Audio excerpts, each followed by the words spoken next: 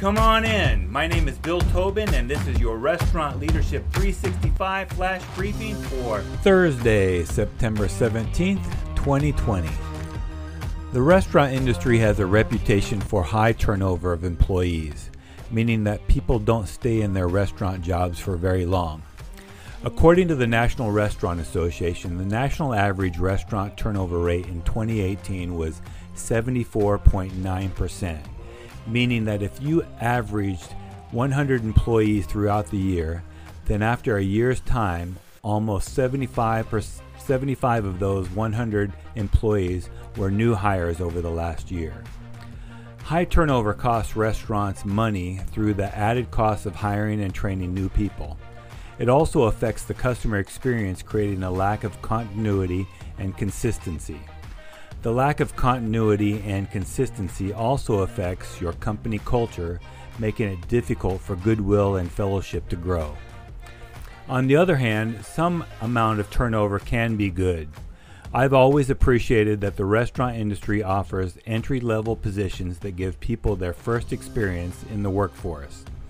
Some high schoolers and many college students enjoy the flexibility and work hours for restaurant jobs. We get the benefit of their youth and enthusiasm, and they use us as a stepping stone to their next career. In a perfect world, they stay for a few years and then move on.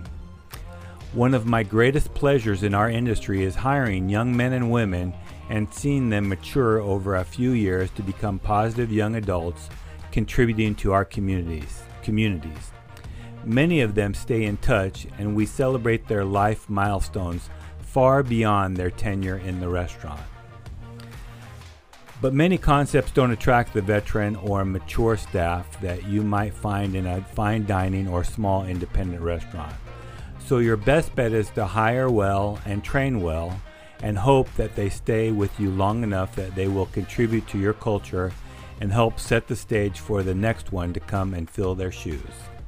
So, your task for today do your best to reduce staff turnover costs while appreciating that some turnover can contribute positively to your restaurant. Now go make it happen. Do you have a comment or a tip for restaurant leaders?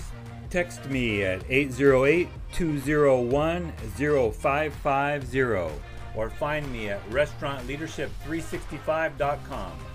This is Bill Tobin. Thanks for coming in. See you tomorrow.